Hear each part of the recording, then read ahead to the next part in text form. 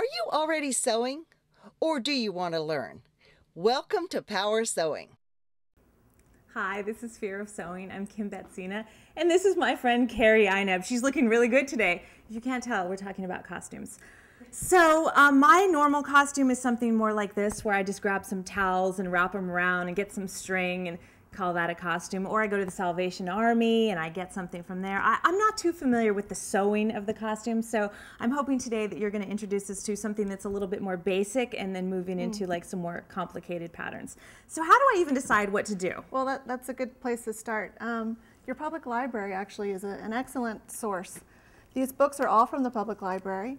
Okay. And um, take your kids with you and just browse through them sit down with your kids and look through the different costumes.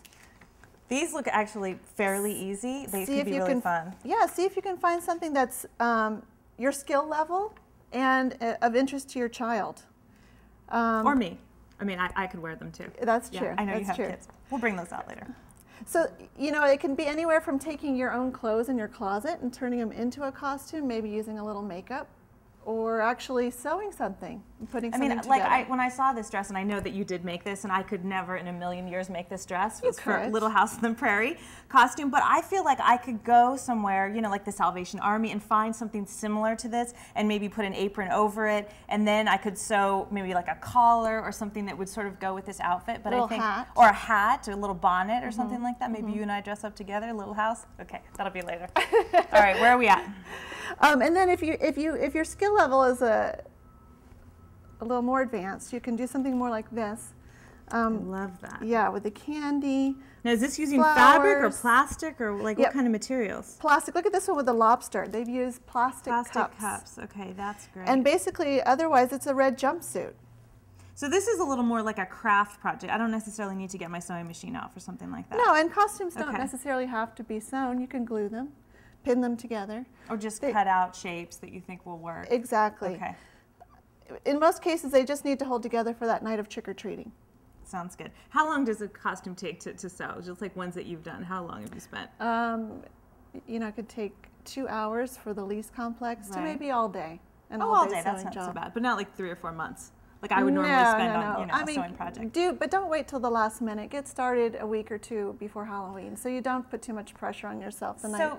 I just have to ask you a question. I saw yeah. that you brought this sewing book or this pattern book here. Yeah, can I take my scissors off? Oh, I guess so. Sorry, I'm going to keep my. My scissors are falling off. Now I know that some of these patterns do have costumes, um, but do you usually use a pattern for a costume, or do you just make your own, or how does that work? I do. Um, sometimes for inspiration, you can use the the pattern books to create a costume.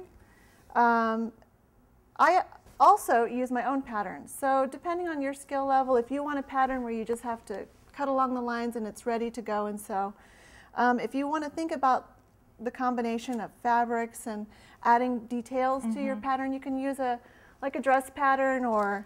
Um, and so these would be non costumes, just regular right. patterns that regular clothing change. patterns that you can change. Okay. Like a lot of these costumes look almost like pajamas. So I just use a pajama pattern sometimes and pick out and fabrics, then maybe each trims. year you're not buying a new pattern for each different costume. Exactly. exactly. With. And the fit on a costume is probably not as important as it would for would be for regular clothes. You want to make the costume comfortable, mm -hmm. but you don't have to fit it like you would a, a shirt or a okay, pair of so pants. Can be just loose. Yeah. okay. Um, but also consider that your child needs to be able to walk in it safely and see Walk and sit down and go to the bathroom or just walk?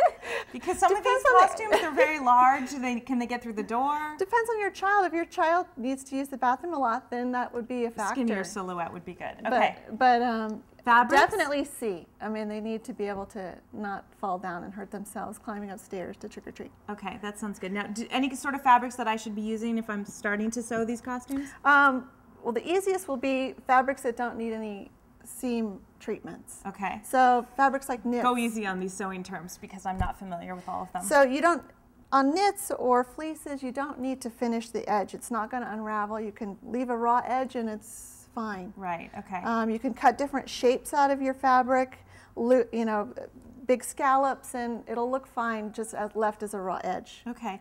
Now, did you bring some pictures for us to see of some costumes that you've done? I did. Okay, um, they're, good. They're my kids. All right. Um, so what have you brought? Uh, the first one I brought was um, Sarah, my oldest daughter, as a lion. Okay. And I made a knit jumpsuit in a tan. Mm-hmm. And then I used a piece of fur uh, to create a hood and left the edges raw and kind of jaggedy. And we sewed a tail on the back of it. And there was it. Was there a leotard underneath? No, the, she- it's a jumpsuit that goes, you know, The whole thing. Yeah. All from here to all the floor. All to the floor. Okay, Exactly. that sounds good. And then this other one that and you makeup, have. makeup. She's got a lot of makeup. Makeup I'm all about that. makes a difference. Now this one that has the big blue hat. How in the world did you ever do that? Um, I went to the craft store and Mm-hmm. I found a, a wreath that was made out of foam, Okay. and I ended up taking strips of fabric and wrapping that. Okay. Now does the foam have to fit on the head, or does it, I mean, it doesn't want to fall through?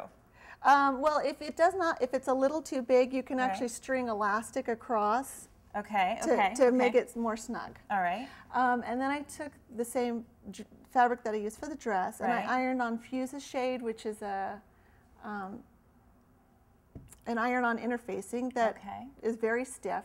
And then I cut it out and shaped a cone to fit on top of the brim. And did she love that outfit? She loved it. that was that the was only thing really we bought were the wings to go with it. And that worked out well. And then you did another one, um, the Alice in Wonderland. I did. That, that looks very professional. Did you sew that whole thing? I, I used a dress pattern that my daughter had already, made a little blue dress. The color is really important to communicate the That that is Alice. that it is Right, Alice. Right. And then the apron actually is instead of use, making a whole apron, I sewed the apron into the shoulder seams. So it only covers the front. It doesn't fall. Oh. Now, why did you do that? That's very interesting. Because just because it would always stay in place. Exactly. She wouldn't be fussing with it and worrying about it. Yeah, that worked out very well. Now, was there a costume that you just thought, I will never make this again? This was the worst costume ever. so much headache. No, because it's always worth it in the Oh, end the to, kids to see love the kids. If you're really pressed for time, Mm-hmm. um, look in your closet. You have so many different options that you probably haven't thought about. Um, one year I was strapped for time and I put a black shirt and a black pair of pants on my daughter, put whiskers on her face and a little cat ears on a headband. And she was an instant kitty cat. Yeah, that's a real easy one for sure. So, what are we showing today? Um, we have Little Amina is wearing. Yeah, she is a vampire today. Oh my um, This costume is made out of a knit. Again, it was just a regular dress pattern that we created a knit, uh, a cape. Wow. Um, and now, did the- you just cut those edges like that? Did you actually seam those? I can't really tell. They can be cut. They, they uh, that is seamed with a serger, but it Okay. could just be cut and You hang could just cut that. That exactly. would be It style. just cut it off. Exactly. Okay. So the, there's the bottom. And there's no hem on it. It's just slapped together. But the colors are great. The fact that you know you just were able to put them both together. Now, does this one have a hat also, or no hat? No, No, vampire. but for hat. makeup. Lots Some of makeup. serious, yeah, Yeah, some serious. That one looks makeup really, on that. Really good. Do we have any other ones? Um, and then we have the rocker. Yes, the rocker. Tell me about the rocker. Again, just uh, pull it out of your closet. Put together a look that looks really cool. I think that one works really well. I think we need a few like bobby pins and safety clips and things like that, safety pins in there. But And otherwise, you can make her a punk rocker. yeah, she might never go back though. She's looking pretty good in that one. I think that's really good. Well, is there anything else, Karie, you want to tell us about costumes today, or just you know ways we can we can be creative thinking about all this stuff? Um, have fun and, and try to include your kids in the process. They'll, they'll enjoy wearing it all the much more. I still remember all the costumes that my mom made, and then I kind of took over and decided to just start reinventing my own. But hers were so much better for me. Well, thank you for being with us on Fear of Sewing. So, what do you think? About what? Power sewing.